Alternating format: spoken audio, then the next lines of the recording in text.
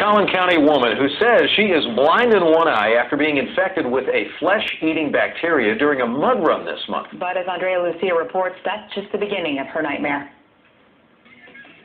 Brittany Williams pushed through the pain to finish her first mud run two weeks ago in Dallas. And my eye started hurting, like maybe I'd got mud or some debris in my eye. But by the next morning, she says she was blind in her left eye. When I uh, opened my eye, it was just like white. Like the whole room was white. Williams says the debris cut her eye, allowing flesh-eating bacteria to destroy her cornea. It just completely like melted off of my eye.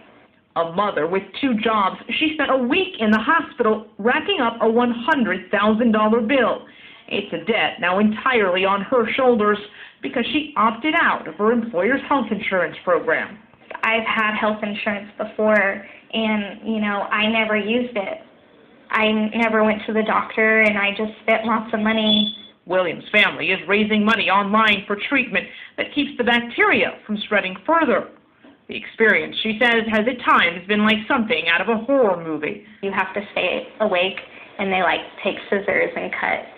I know it's really gross. But she keeps a positive attitude. I am a religious person. I believe that this was supposed to happen for some reason. In Anna, Andrea Lucia, CBS 11 News. And Williams says there's a chance she will eventually regain her eventually regain her vision with surgery, but she also tells us she's been denied treatment by several doctors because of her lack of insurance. Pain to finish her first mud run two weeks ago in Dallas. And my eye started hurting, like maybe I'd got mud or some debris in my eye. But by the next morning, she says she was blind in her left eye. And when I uh, opened my eye, it was just like white. Like the whole room was white. Williams says the debris cut her eye, allowing flesh-eating bacteria to destroy her cornea. It just completely like melted off of my eye. A mother with two jobs, she spent a week in the hospital.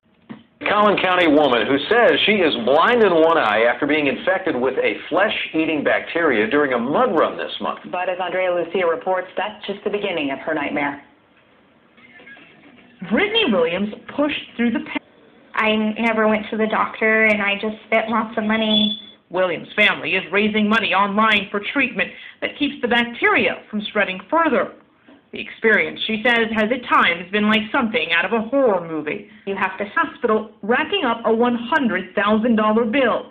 It's a debt now entirely on her shoulders because she opted out of her employer's health insurance program. I've had health insurance before, and, you know, I never used it.